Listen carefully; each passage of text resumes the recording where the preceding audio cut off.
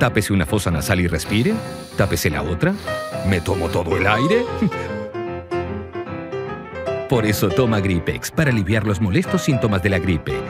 Gripex, ahora en su nueva presentación.